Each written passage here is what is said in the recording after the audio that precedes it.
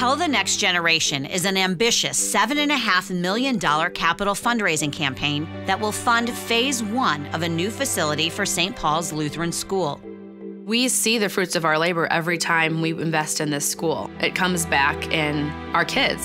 One campus, three stories, K to two, bottom floor, and that will go right out to a playground. Second floor would be three, four, five, maybe grade six, with upstairs being the upper grades and science lab, art lab. Very exciting to bring in a new STEM space that will be about two times bigger than our current science lab.